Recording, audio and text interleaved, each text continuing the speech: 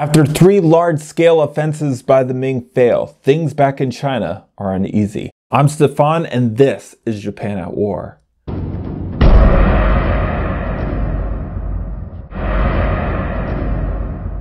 War is expensive, even for an empire as powerful as the Ming. Soldiers have to be paid and fed, weapons and armor supplied, and then you have to get them to the fight itself.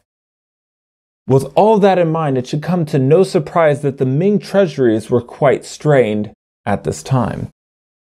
News of the recent failures were now pouring into Beijing. The Wanli Emperor was understandably upset after hearing the most recent reports. He then issued out an edict reprimanding the commanders Dong Yiyuan, Ma Gui, Liu Ting, and some of the commanders under them.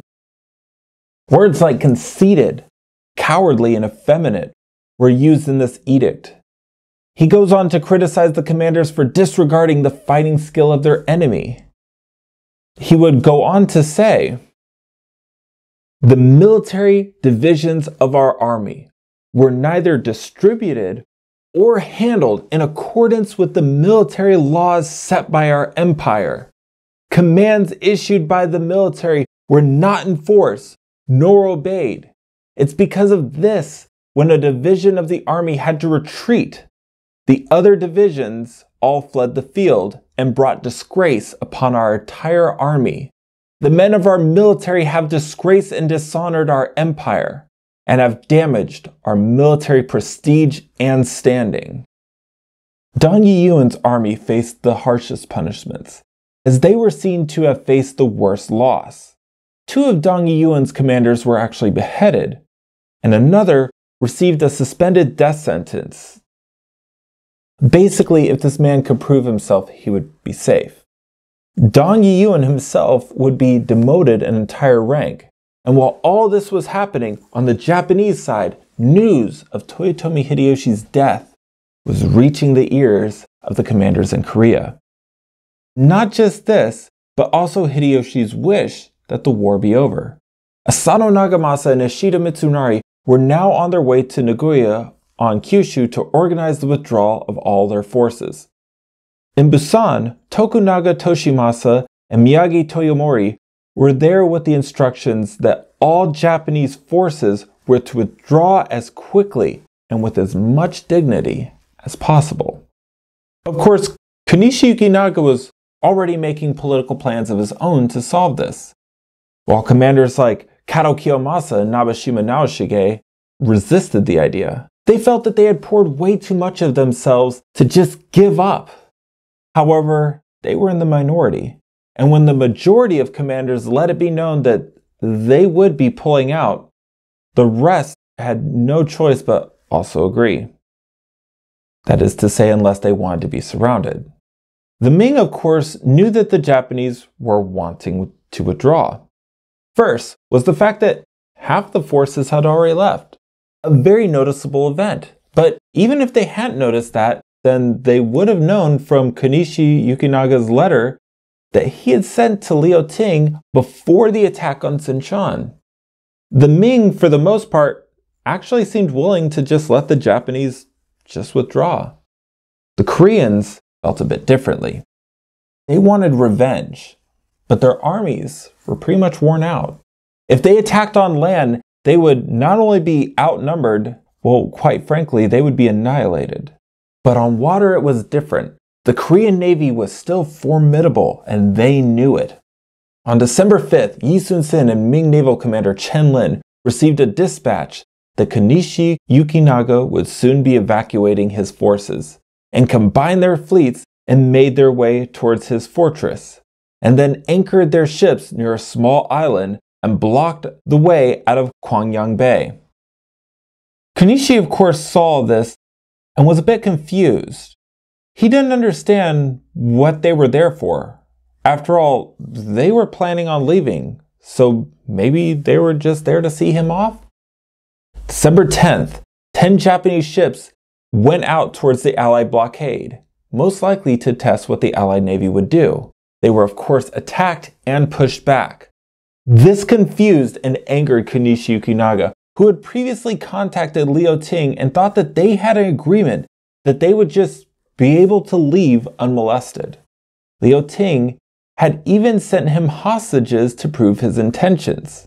Konishi, in his anger, had two of the hostages' hands cut off and sent to the Ming commander to show how upset he was. Interestingly enough, Liu Ting simply replied that he needed to take it up with the Ming naval commander on the water, Chen Lin. Konishi accepted this and made plans to have gifts sent to him to soften him up. The next day, swords, pigs, and a barrel of sake was sent along with the request that they let him and his men leave. This was repeated on the 12th and 13th, and by December 13th, Chen Lin was giving signs that he would agree to this. But winning over Chen Lin would only be half the battle. Yi Sun Sin was the real obstacle, and gifts wouldn't sway him, though gifts were indeed sent to him. He, of course, refused them, though. Chen Lin decided in the meantime to send a request to Konishi Yukinaga, give up Nanhai, and also send him 2,000 Japanese heads. Konishi said that he would do this, but by this time he was actually sending out requests for help from the other Japanese commanders. He wouldn't actually do this, he just needed more time. It would seem that the two naval commanders were now arguing about what to do. However, it seems like Yi Sun Sin wasn't as aggressive as popular sources seem to suggest. Either way, it's impossible to be sure about the argument itself. On December the 14th, Konishi Yukinaga sent one last representative to Chen Lin with a simple request to let a single ship through the blockade so that it could sail east and let the rest of the garrisons know to proceed with the evacuation. Chen Lin agreed, and then made its way as quick as it could to Shimazu Yoshihiro, who had left Sachan and was now at Changseongdo. Yoshihiro felt that he didn't currently have the manpower to save Konishi though. So after discussing it with Tachibana Muneshige, he sent out a messenger to Kato Kiyomasa to ask for help. Kiyomasa agreed to help, but of course having a deep hatred of Konishi and his Christian ways, this was a lie. Instead, on the 15th, he moved from Ulsan to Busan, and from there he would go back to Japan. Shimazu Yoshihiro was understandably angry. He didn't think that they would be able to defeat the Allied Ming Navy. He also didn't want to leave a fellow commander to die, which would damage his standing and honor. He committed himself to helping still. Yi Sun Sin would hear about this later in the day and panic. If the enemy attacked, they could be engaged from both sides, something few people could survive. It was at this time that one of the lower naval officers came forward and said that instead of waiting, that they should meet the enemy fleet before it could join forces with Konishi. The commander's name was Song Hui Rip. Yi Sun Sin then went to Chen Lin and begged him to help him with the coming assault. Chen Lin didn't really seem to care either way. It seems in his mind, if they simply weren't there, the Japanese would leave either way, and that was the goal, right? But Yi was relentless and continued to beg. Chen Lin, in the end, agreed to help. That night, the men of the Allied Navy were served a hearty feast. They then raised anchor and moved east under darkness to the Noryang Strait. If the enemy was in fact coming, they would have to come this way.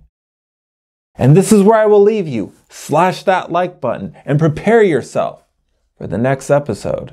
It's the last battle of the war. I'll see you next time.